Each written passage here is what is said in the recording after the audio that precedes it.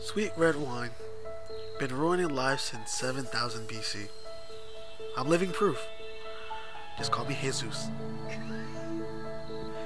Hello. Are you a writer?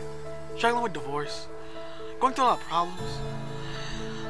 I got the solution for you. Now, sweet red wine. It helps all solve all your problems. Got divorced? Drink this. Writer's block? Drink this. Want some hookers? Have this. They'll be all over you. But it's so great. It helped me out so much. It can help you too.